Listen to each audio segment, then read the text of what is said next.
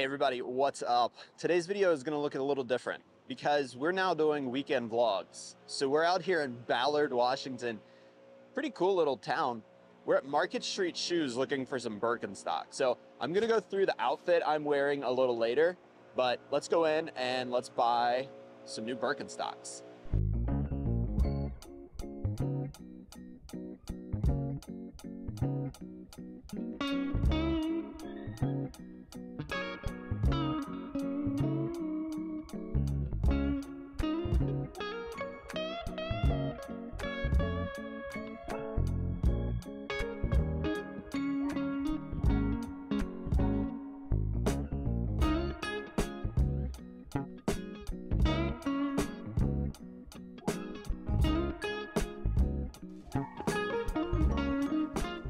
These are the ones that we came in here for. And the main reason that I want these, these are the Birkenstock soft bed grip. I think in the grip series has this silver and this silver matches the silver jewelry that I wear as opposed to the rose gold. I'm not a huge fan of the rose gold because I don't like mixed matching metals. So we're gonna see if they have this one in my size. 44. Cool.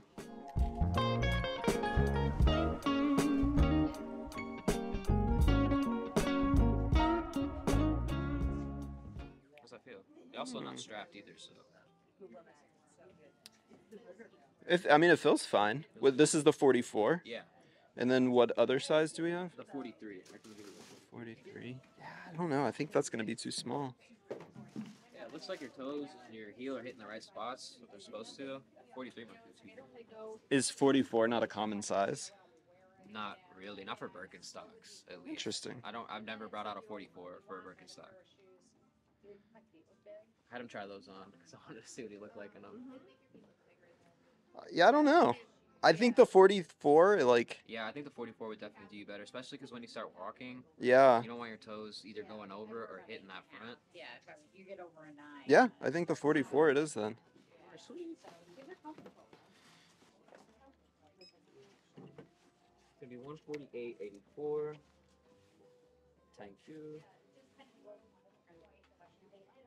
Yeah, I've been looking everywhere for these with the silver buckle, Really? and I mean, other than ordering them, nobody has them. We got him.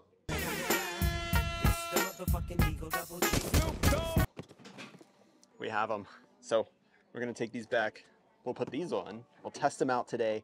We'll see how they work. Walking around down in Seattle, wherever we're gonna be, and then I'll tell you about the rest of my outfit. But first, I really need food. I really need food. So let's go.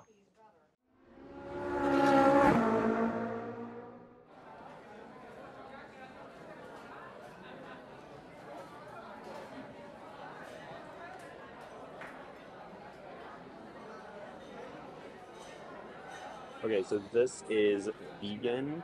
It is tofu pastrami.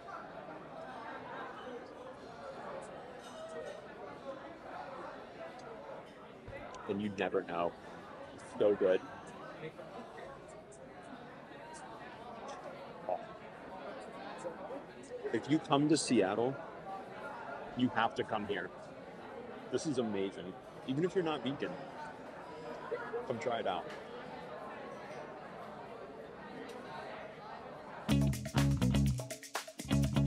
Okay, so it's so loud down here.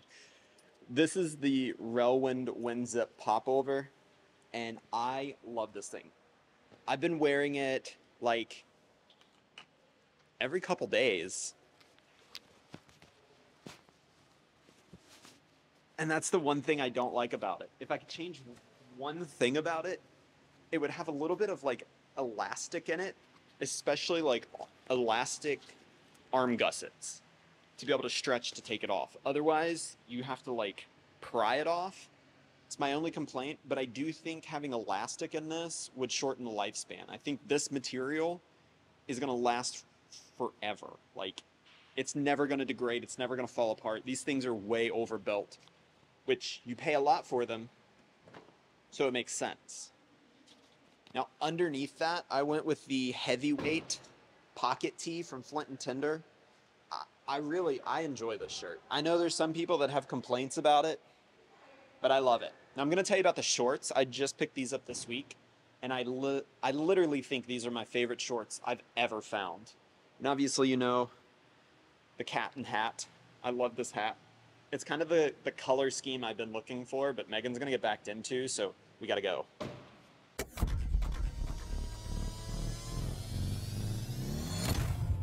Okay, so we walked around for like 10 minutes. This place is atrocious. If if you're coming here, absolutely skip this. This is terrible.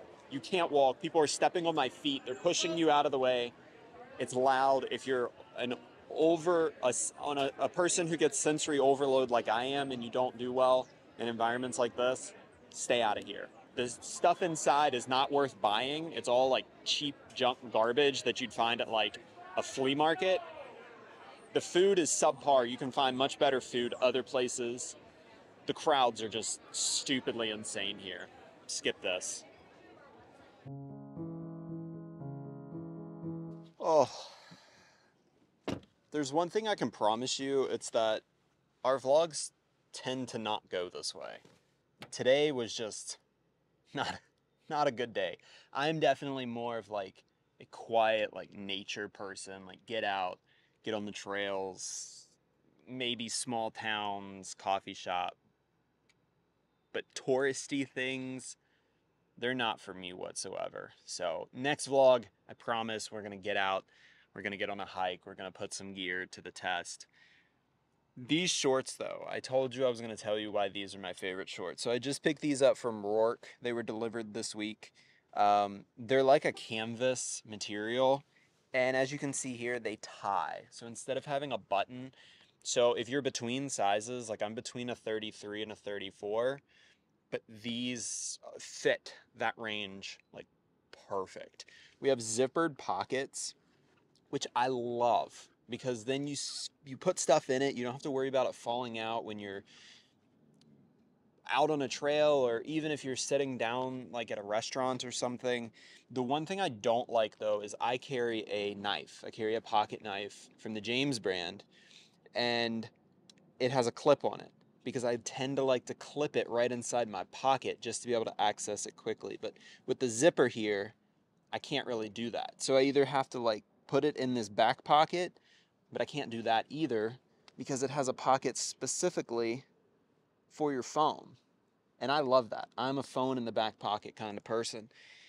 The buttons right here are nice.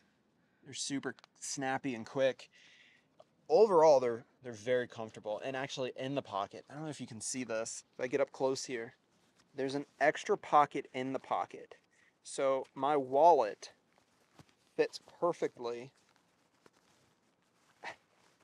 inside of this it's not going to work because it's got to be like down but i can put this in and set my wallet in that extra little pocket and it stays secure it doesn't slide around in my pocket, which I, I love. The shoes are great.